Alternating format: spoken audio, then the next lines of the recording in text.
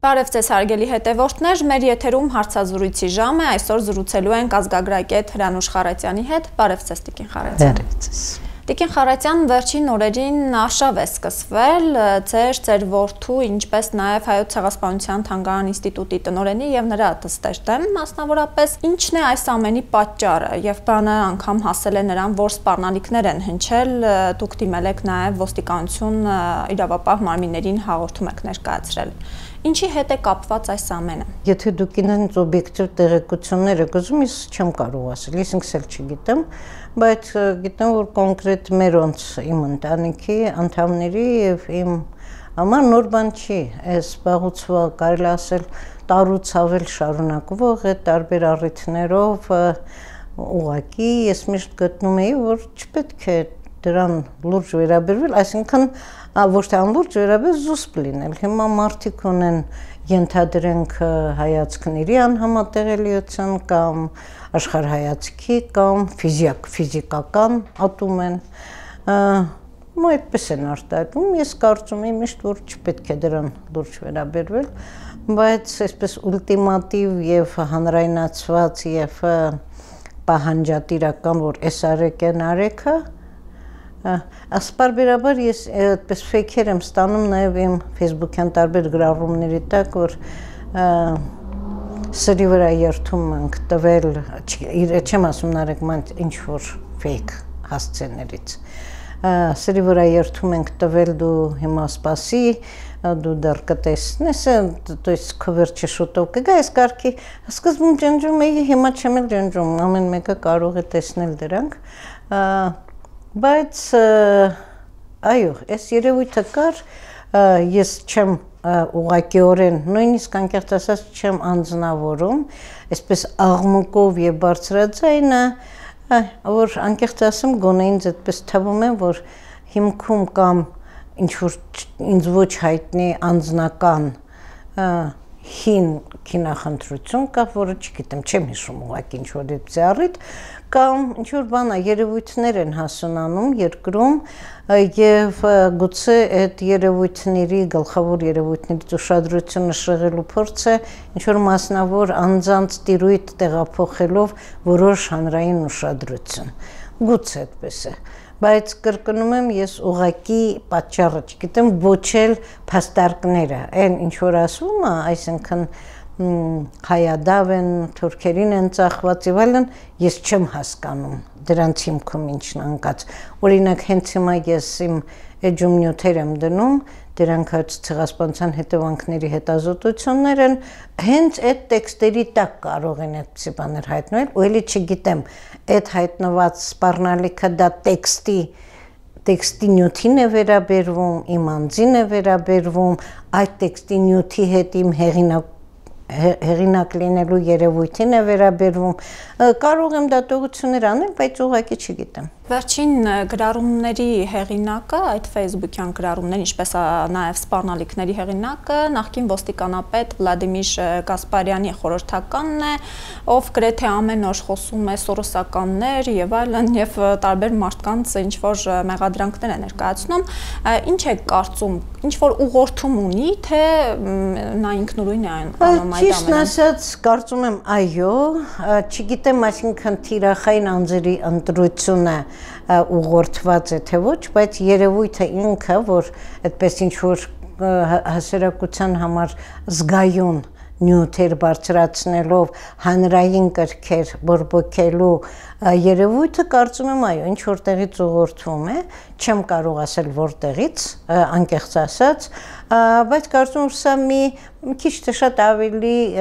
գիտակցված ծրագրի մի մաս է որտեղ կոնկրետ այս կոնկրետ դեպքը ինքը իմ տրամաբանությամբ ոչ մի երևույթ հետ գիտակցված մաս չի ինքը մի մասնավոր դեպք է բայց դատելով են բանից դե միայն մեր իմ ընտանիքը չի մեր երկրում կան այդպիսի եւ ընտանիքներ կան պարոն Սաֆարյան եւ Տիկին Սադա Սաֆարյան եւ անձիկ կան իմ նկատառումներով եւ իմ իմանալով իմ վստահության եւ իմ բարոյական արժեքների տիրույթ խորհրդում արժանապատիվ բարոյական ազնիվ մարդիկ, որոնք նույնպես այսպիսի գրողների են ենթարկվում։ Թիրախավորվում են։ Թիրախավորվում են, այո, եւ հետեւողականորեն եւ նույնիսկ ինչ որ գործողություններ են լինում, հարցակումներ, ծծեր մի անց չի անողը կարծեք տարբեր անձիկ են, բայց սրանք ընդհանուր երևույթի առանձին դրսևորումներ են։ Այո, սա նույնպես վկայում է, որ կարծում եմ սա ինչ որ մի տեղ կենտրոնից մշակված տարբեր ուղղորդումներ ունեցող, տարբեր ձևեր ունեցող նույնիսկ ձևով նման լավ, բայց տարբեր կերպ իրականացվող այո գործողություններ են։ Սա նորմալ է համարում։ Երկու տարի երկրում տեղի են ունեցել փոփոխություններ, այսպես ասած հեղափոխություն են իրականացրել եւ նախկինների այս ակտիվացումը կոնկրետ անձանց թիրախավորել, վաշկաբեկել եւ այլն նորմալ է համարում ինչու ինչի արդյունք է գիտեք ինչ նախ այն ինչ դուք անվանում եք նախքին այդ պետք է նախ հասկանալ ինչն է այսինքն կան նախկիններից անձիկ, որոնք ինչ որ ձևերով հաշտվել են, այսպես ասենք, եղած հեղափոխության հետ, երբեմն ընդունել են եղած հեղափոխության որոշ գուցե կամ գուցե ամբողջովին չեմ կարող ասել ասպեկտները հարմարվել են ոմանք տեղավորվել են, ոմանք ուրիշ շուղիներ են ընտրել, կան, որ երբեք այս երկու տարիների ընթացքում չեն դադարել իրենց ընդվզումը, դժգոհությունը եւ դատապարտումը արտահայտել տարբեր ձևերով, երբեմն իմ կարծիքով օբյեկտիվ իրողությունների, երբեմն ուղակի ինքնակայացման, ինքնավերակայացման, ինքնագնահատման եւ ինչ որ ընդհանուր մտնոլորտի վրա ազդելու տարբեր բայց ես երկու տարվա մեջ երբևէ այդպիսի մի ընդմիջում չեմ տեսել կարող ենք խոսել իմ կարծիքով գործողությունների ձևերի փոփոխության ու բազմազանության մասին եւ անձերի կան անձիկ որոնք որոշ գաղափարական հենքի վրա են խոսում կան անձիկ որոնք կոնկրետ երևույթների շուրջ են երկրի եւ իշխանության հետ առնչող կոնկրետ երևույթների շուրջ են խոսում կան անձիկ որոնք ուղակի երկրի ընդհանուր բարոյ բարոյական մթնոլորտի արատավորման ուղակի գործող սադրում գործողություններ են սադրում սրանք տարբեր են եւ ես չեմ կարողանում ասել չգիտեմ իսկապես սրանք բոլորը մի ընդհանուր համակարգի մեջ են տեղավորվում, թե սրանք բոլորովին տարբեր աղբյուրներից ծնուցող երևույթներ են կամ գործողություններ են։ Բայց մի բան པարզ է, որ իրենք արագ ակտիվանում են, եթե նախորդ համակարգի կամ անձի կամ որևէ կոնկրետ գլոբալ երևույթ հետ կապվող որոշ փոփոխություն է առաջանում, նախատեսում, նախապատրաստվում եւ դրանք տարբեր ձևերով տարբեր բովանդակությամբ ակտիվանում են, բայց իմ կարծիքով ոչ բոլորը եւ ոչ միասնական։ Ակտիվանում է այս կամ այն ձևը, ակտիվանում է մեկ խոսքը, մեկ գործողությունը եւ անկեղծ եթե հիմա ձեզ կանխելով երևի ձեր հարցնել ասեմ, ես կարծում եմ, որ ցավոք սրտի սրանք մեր հեղափոխական իշխանությունների կողմից լրջորեն նկատի առնված չեն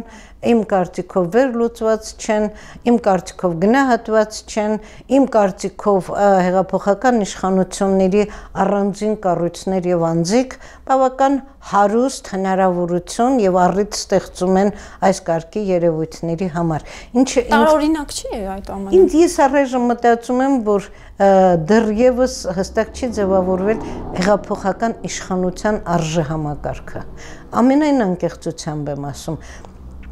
որն է այդ արժեքը այսինքն հեղափոխությունը եկավ հակակոռուպցիոն եւ հակաիրավական երկրի իրավիճակի համար հեղափոխության հիմնական բանաձևը Մերժեր Սերժինն էր որը իր մեջ պարունակում էր ոչ թե Սերժը ինքը նաեւ ինքը բայց այս ֆորմուլան ինքը պարունակում էր իրավական երկրի օտարման, մերժման, ներողություն, անիրավ երկրի մերժման եւ կոռուպցիոն օլիգարխ։ Այսինքն հեղափոխությունը չէր պարունակում որևէ Հայաստանի համար սոցիալ-տնտեսական այլ տեսլական, չէր պարունակում երկրի հասարակական կարգի որևէ այլ առաջարկ եւ հեղափոխության նսատարող մարդիկ իրենք չէին առաջադրում այդպիսի կոնցեպտ, այդպիսի պահանջ։ Սկզբունքորեն Մերժեր Սերժինը կարծեք այն իմաստով որ իրավակ իրավունքը վերադառնա եւ երկիրը դառնա իր հնարավորություններով մատչելի ամբողջ հասարակության համար յուրաքանչյուրին յուրաքանչյուրի ըստ իր կարողությունների, բայց յուրաքանչյուրին նաև հավասար հնարավորություններով։ Կարծեք թե սրան առարկություն չկար եւ հիմա ուրեմն իդ հեղափոխական զարգացումները գնացին միանձնյա իդ հեղափոխական զարգացումները հանրային կոնսենսուսի առայժմ դաշտում էր որովհետեւ հանրային կոնսենսուսը իրավունքի վերականգնման համար էր բայց իդ հեղափոխական շրջանը բացատրեց որ իրավունքի խնդիրը եւ նորմատիվ եւ օրենքի եւ գործողությունների տևական նախապատրաստում է պահանջում եւ սկսեց ուրեմն այսպես կոչված իբրև վերակրիականի քրիա օլիգարխիկի մակրում կարծում եմ որ անկեղծ ասած այս դաշտում որոշ հաջողություն կա ճիշտ է մի քիչ սելեկտիվ եւ արդեն հանրային բարոյականության համար կասկածելի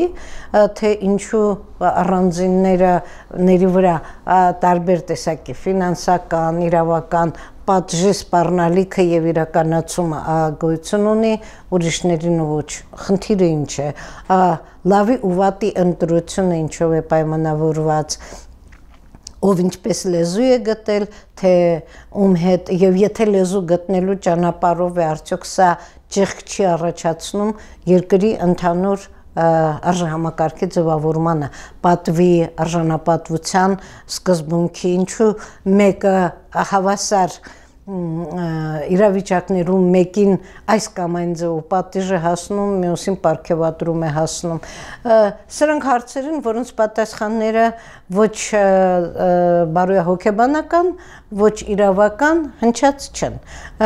Եվ քանի դեռ 2 տարի շարունակ հասարակությունը ավելի սпасելիքի դաշտում էր, հիմա սկսում է աստիճանաբար նաև պահանջել պատասխան։ Ա, Չգիտեմ այս փուլը ինչքան կտևի։ Պահանջել պատասխան եւ ստանալու դեպքում իրեն անընդունելի պատասխանի դեպքում ինչ անել, իր համար ընդունելի պատասխանի դեպքում ինչ անել, չստանալ պատասխան դարձյալ ինչ անել, բայց ընդհանրելի է չէ որ սրա առիթով լինելու են նաեւ կամ այլ տեսակի պահանջատիրական ձևակերպումներ կամ գործողություններ։ Եվ ես կարծում եմ, որ իշխանությունը արդեն վաղուց սթափվելու անհրաժեշտություն ունի։ Արդյոք շատ հասկանալի է հենց իրեն իրենց գործողությունները եւ արդյոք ինքը արդեն հանրության հետ ունի չի կորցնում կոնսենսուսի հնարավորությունը։ Հեղափոխությունը կարելի ասել կիսատ է մնացել, իր բուն նպատակները չի իրականացրել եւ սա շուտով բերելու է բողոքի դժգոհությունների ալիքի։ Իրականության մեջ ցանկացած հեղափոխություն ունի նաև այսպիսի յետ յետ հեղափոխական շրջան։ Ցանկացած հեղափոխություն նախ եւ առաջ եւ սա սա օրինաչափություն է բայց ցանկացած հեղափոխություն ունի հստակ ձևակերպված ծրագիր խնդիր այս մեր հեղափոխության հստակ ձևակերպված խնդիրը մերժողական էր մերժիր այսինչ բաները ինչ առաջարկ ուներ այս հեղափոխությունը թվում էր հանրության ինձ Երևի ձեզ, չգիտեմ, ձեր փոխարեն թույլ չեմ տա դատել, բայց կարծում եմ հանրությանը թվում էր, որ այն ինչ մերժելի է որպես երևույթ, դա արժեքն է հեղափոխության հիմա կարծեք թե այդ մասին խոսակցություն չկա հիմա կարծեք թե իշխանությունը իրեն համար մերժելի երևույթների հակոտնյան այսինքն պրոֆեսիոնալիզմը, իրավունքը, մարդու իրավունքը, քաղաքացիների հավասարության իրավունքը, արդարությունը գործողություններում չի երևում սրանց հետ կապված լուծումները, հիմա դե մի պահ եկա որ ամեն ինչ դրվեց որ սամնա ինչև սամնադրական դատարանի խնդիր չլուծվի այլ խնդիր չի լուծվելու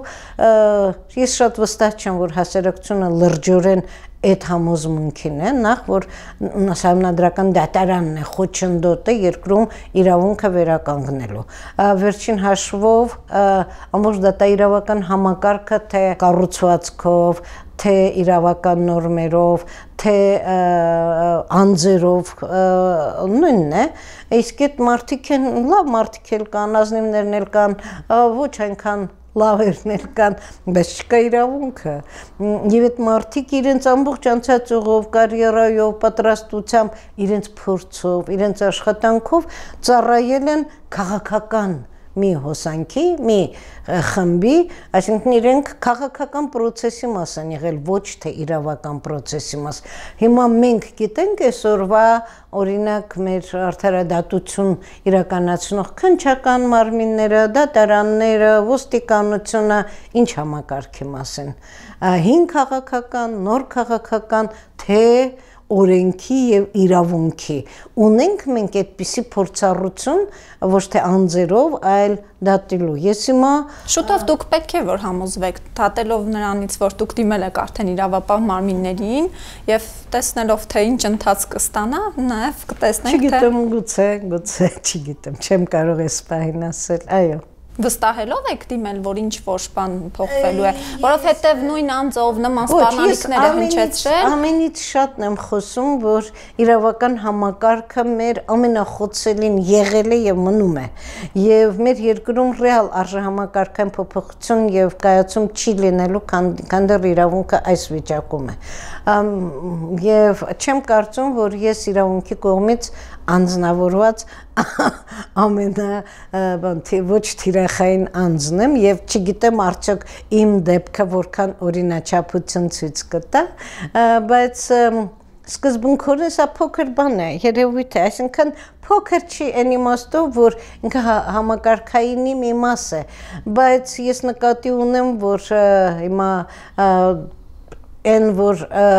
մարդիկ իբրև թե մերկացվում են քրեական լուրջ հանցագործություններով, բայց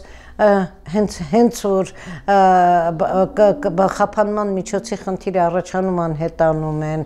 այդ մարտիկ կամ համաձայնությունների են գալիս եւ որոշակի մոծումներն ես չեմ ասում որ սա ձևերից մեկը չի բայց եթե սա է ձևերը ապա դա պիտի երևի բոլորի համար լինի եթե սելեկտիվ է եւ ամեն առանձին անձի համար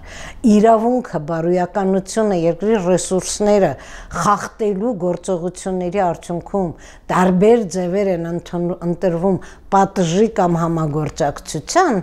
սա պետք է հանրությանը հստակ պատասխան տալ։ Սա է հեղափոխական ուղին եւ իդ հեղափոխական Հայաստանի ձևավորումը, իսկ գուցե ոչ մեկին չպետք էր պատժել, իսկ գուցե բոլորին պետք էր պատժել, իսկ գուցե բոլորին նույն գործողության եւ երևույթի համար նույն կերպ պետք էր պատժել։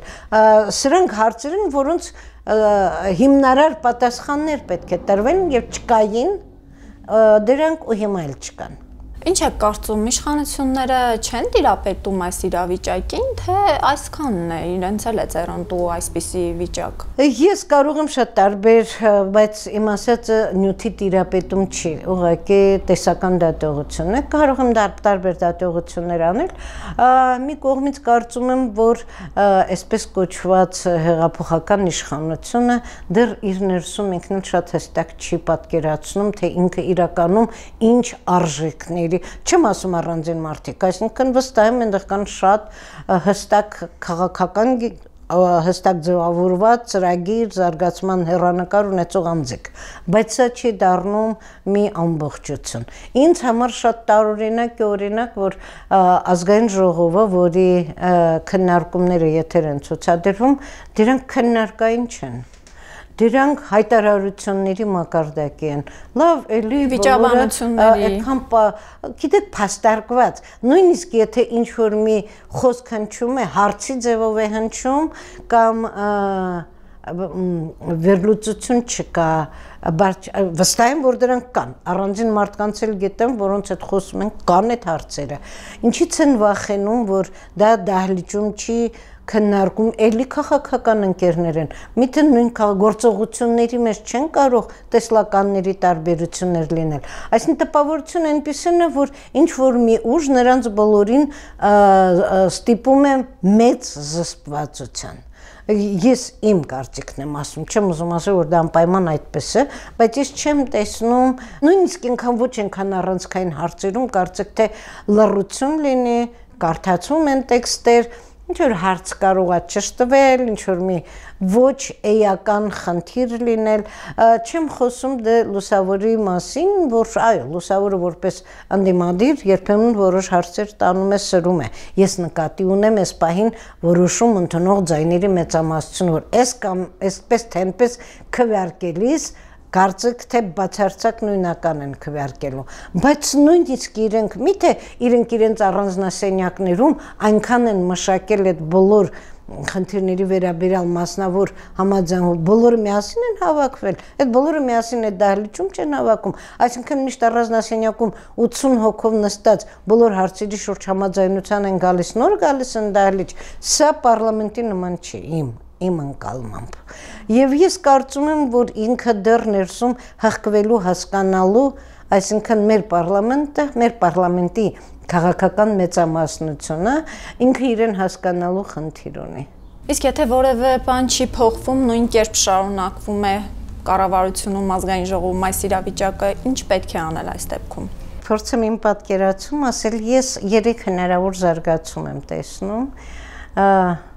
ամենավատը, որը բացասական սկսեմ, ամենավատը, որը կարող է լինել, դա այն է, որ ի վերջո այս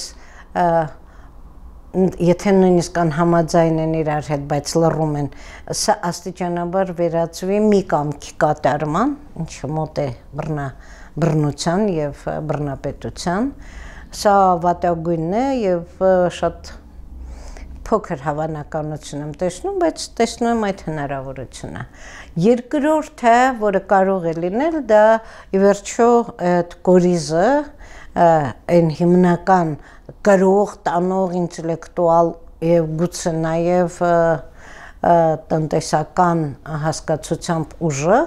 իր ներսում աստիճանաբար գա հասկացության դառնա այն կորիզը, որը առաջիկա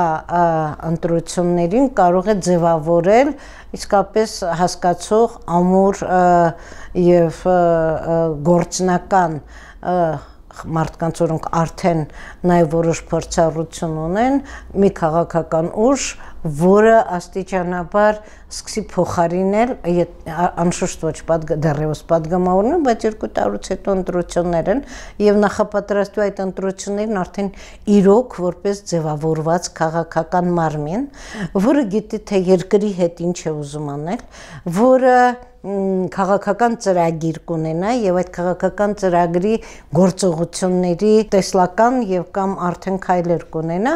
եւ աստիճանաբար այդ չի կարող ընտրության օրը հայտնվել աստիճանաբար հասարակությունը հետևելով կընկալի կհասկանա ինքը այդ խմբի հետ ուզում է լինել, հետևից գնալու է թե ոչ, կամ կարող է երրորդը լինել, որ այդ parlamentից դուրս կձևավորվի այն քաղաքական ուժը կամ անդիմադիրների մեջ կվերաձևավորվի այն քաղաքական ուժը, որը շատ հստակ ծրագրով, նաև այս եթեղափոխական խնդիրների եւ սխալների եւ ձգձգումների եւ իրավիճակների եւ բացթողումների արդյունքում հստակ գնահատելով իրավիճակը եւ իր ինքը հստակ ներկայացնելով իր ծրագիրը նաեւ այս բաց թողումները կարող է եւ դառնալ լուրջ քաղաքական հակառակորդը կամ նոր քաղաքական հավակնորդը իշխանության։ Այսինքն հնարավոր է բանը հաջորդ ընտրություններին չհասնի եւ այսպես շարունակվելու դեպքում շատ արագ զարգանան եւ դե, արտահերտ կա նաեւ իհարկե այս ընթացքում այլ տարբերակներ եւ ես դրանք հիմա գործնականում միանգամայն հենց հիմա եմ հնարավոր համարում որ ճուր ռևանշի միջոցով երկրում առաջանա այնպիսի լուրջ ճգնաժամ եւ ներքին քաղաքական եւ դրան սովորաբար դրանց հաջորդող արտաքին քաղաքական ճգնաժամ, որ ամբողջ հասարակությունը ստիպված լինի մոբիլիզացվել երկիրը որոշակի անառողջ հակասությունից դուրս բերելու։ Հիմա այդ մոբիլիզացիան կարող է կայանալ շատ տարբեր խմբերի կողմից եւ խմբերի հետ։ Արդեն որոշակի կարող է շաշկա բևերը ձևավորվում եւ այլն։ Ես չեմ ուզում, այսինքն քան որ նյութի հետ կոնկրետ չեմ, ես տեսական դատողություն նման։ Նյութին սկզբունքորեն չեմ։ Ես չգիտեմ մարդիկ հիմա որտեղ նստած ինչ ծրագրեր են կազմում։ Կարող եմ դատողություններ անել նրանց գրավոր տեքստերից, որոշ գործողություններից, նաև այս կարգի կոնկրետ անձերին թիրախավորելով հանրային ուշադրությունը գլոբալ խնդիրներից մասնավորի տեղափոխելու եւ այդ ընթացքում հենց այդ կարեւ հանրային կարևորության հիմնական խնդիրները նախապատրաստելու։ Սրանք բոլորը կարող են լինել եւ գործնականում մենք սրանք բոլորը ինչ որ չափով տարբեր ձևերով անցել ենք եւ այո, սա լրացուցիչ խնդրեմ է, հատկապես որ հաշվի առնելով այս երկու ամիսների նկատնում այս կորոնավիրուսի բերումով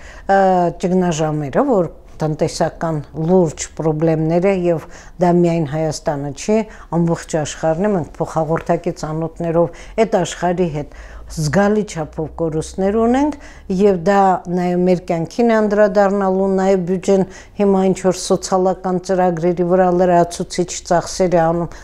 սա դրական իմաստով եմ ասում ես բայց նկատնում որ սրանք բոլոր անհետևանք չեն անցնում մենք առաջիկայում եթե սա էլ երկարից առավել եւս խնդրեմային բայց եթե մենք առաջիկայում չկարողանանք լուծում գտնել արտադրության հիմա գյուղատնտեսական շրջանն է եւ գոնե բնակ իդեպ լուրջ վերլուծություններ կան, որոնք կանխատեսում են հնարավոր նաեւ մթերային խնդիրներ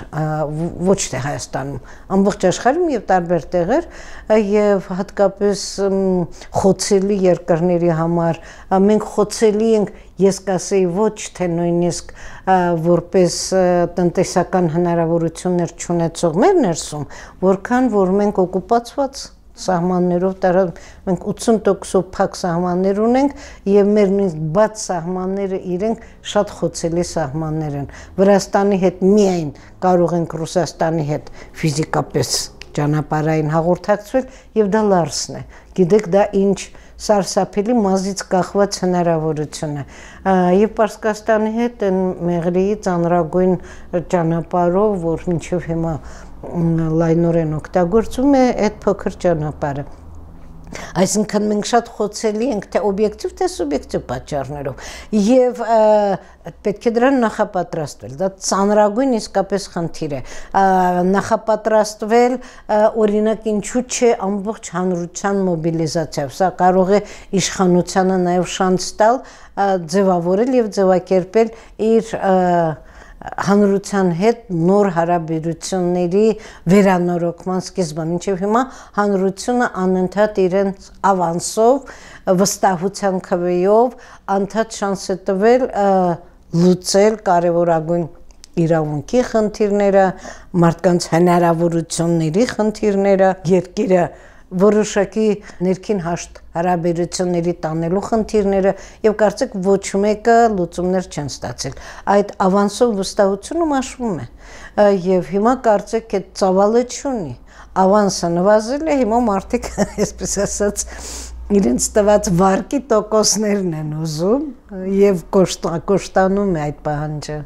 Տիկին Խարատյան, նախկինների ռևանշի մասին շատ է խոսվում վերջի շրջանում։ Ներ դա հիմա այս փուլում ինչպես է արտահայտվում եւ կարծեք թե իշխանությունները դրան դուր չեն վերաբերվում մի փոքր ավելի վստահ են որ ոչ մի բան չի սպառնում այս իշխանությանը որովհետեւ ունի ժողովրդական մեծ աջակցություն չեն ընդունում նաեւ որ այդ ավանսը սպառվել է սպառվում ու մաշվում է օրեցօր այո Չգիտեմ, գիտեք, ինձ համար ակնհայտ է, որ իշխանությունները չեն անլուրջ չեն կարող վերաբերվել դրա հնարավորությանը։ Ակնհայտ է նաև, որ այն, ինչ մենք անվանում ենք նախկիններ, դրանք տարբեր կալիբրի եւ տարբեր ձևերի դա մի մի ամբողջություն չի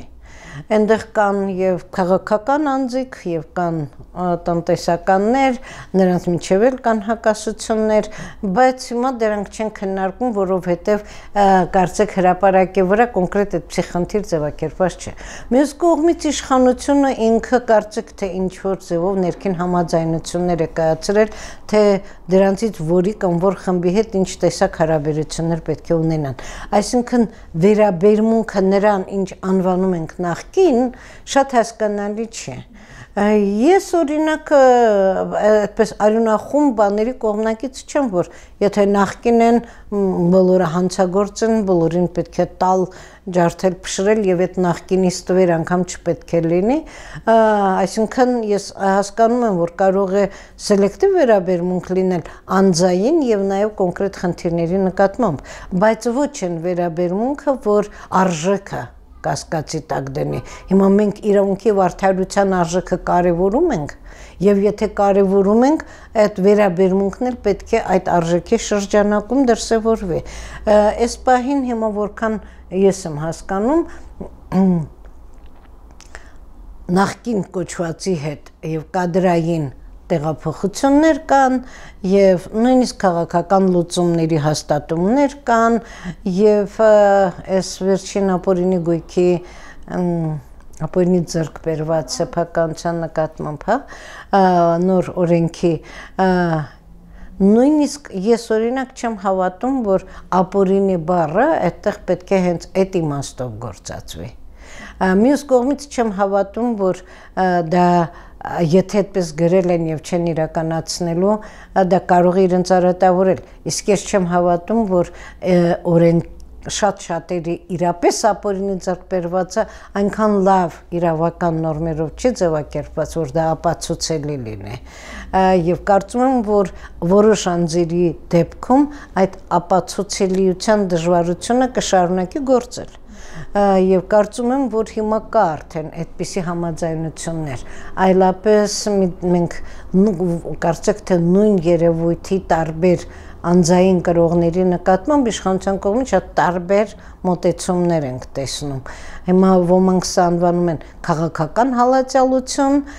ոմանք ես ես անձամբ անվանում եմ սա իրավունքի ամենավատ օգտագործում։ Եթե դուք սելեկտիվ ընտրությամբ եք մարդկանց նկատմամբ կիրառում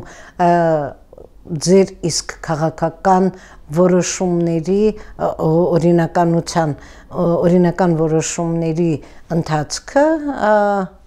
այո առիթ տալիս է ասելու որ մեկի հանդեպ դուք քաղաքական նույն երևույթի մեկի հանդեպ դուք ունենում եք քաղաքական հատուկ վերաբերմունք հիմա ապացուցեք, եթե չունեք ապացույց, մի արեք, նախապես մի հայտարարեք եւ մի դրեք հասարակությանը այսպիսի իրար դեմ լարված կոնֆլիկտային կազմալուծված վիճակի մեջ մի փոշիացրեք հանրային կոնսենսուսը Շնորհակալություն Տիկին Խարացյան այս հարցազրույցի համար։ Հիշեցնեմ հարգելի հետևորդներ, զրուցեցինք ազգագրագետ Հրանուշ Խարացյանի հետ։ Այսքանով ավարտում ենք եթերը։ Ցտեսություն կհանդիպենք։